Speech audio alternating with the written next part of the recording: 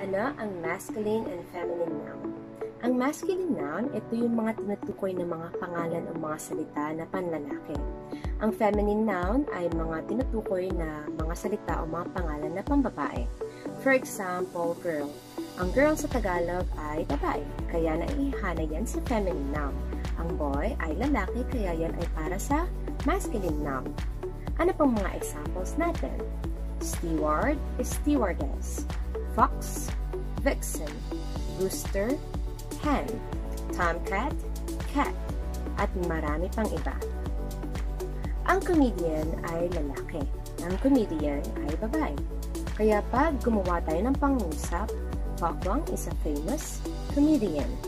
Ginamit natin ang comedian dahil babae ang tinutukoy natin. Si Pokwang ay komedyanteng babae, kaya yan ang ginamit natin.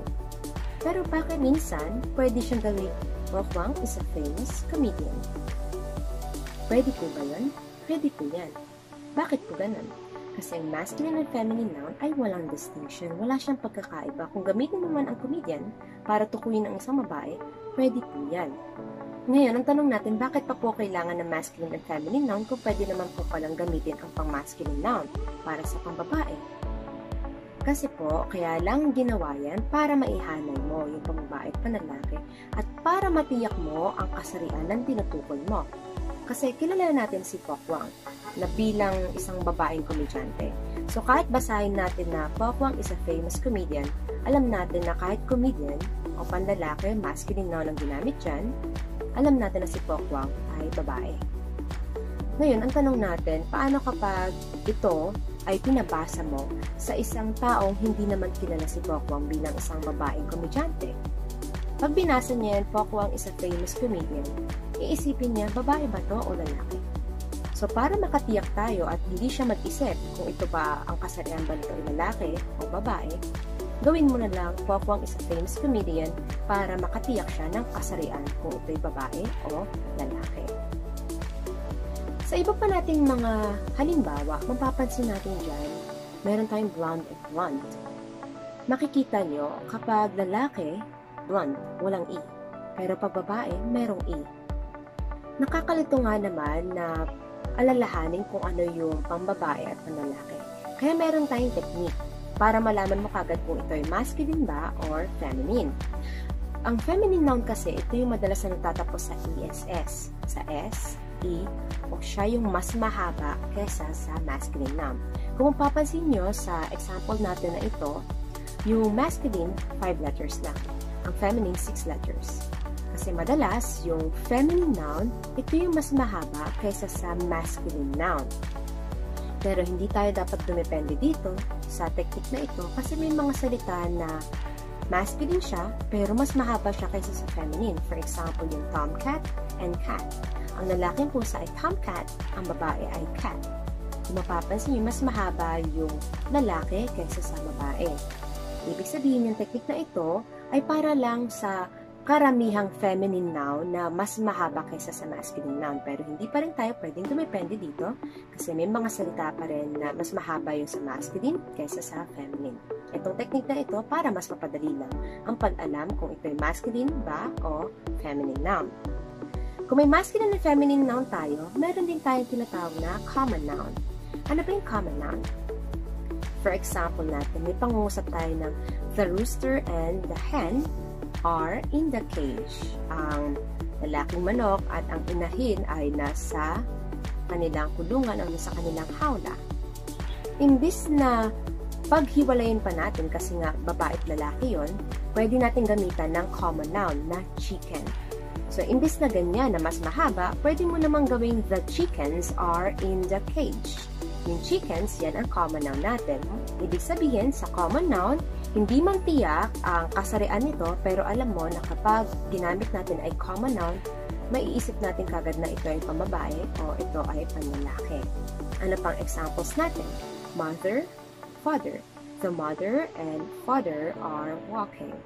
So, imbis na ganyan, pwede mo namang gawing common noun na parents. The parents are walking.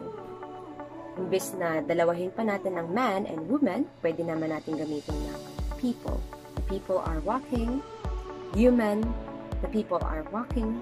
Pwede rin natin yung bata, mga bata, kung yan ay daughter and son, pag-isahin mo na lang as children. So, yan ang common na natin. Meron din tayong tinatawag na gender inclusive. Ano ba ang gender inclusive? Ang gender inclusive, ito yung mga nagtatapos sa panlalaking salita. For example, fireman. Ang fireman, mapapansin niyo yung man na nakadugtong dyan, ang man ay lalaki. Pero kapag yan ay fireman, hindi nangangahulugang ang tinutukoy dyan ay lalaki lamang.